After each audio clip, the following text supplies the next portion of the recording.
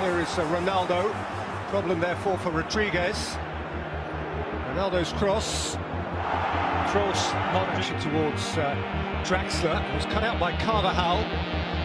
Who's been able to advance and played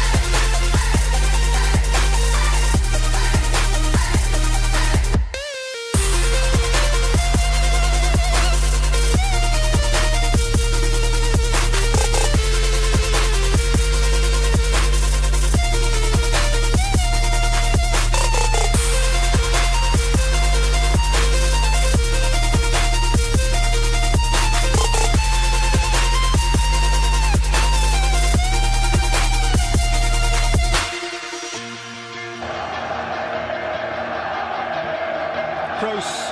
Ronaldo! They've done it in a hurry. Mountain to climb. They've hit the peak already.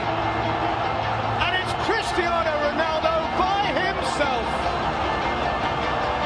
The man's a phenomenon. The club's a phenomenon. There's only one favourite now.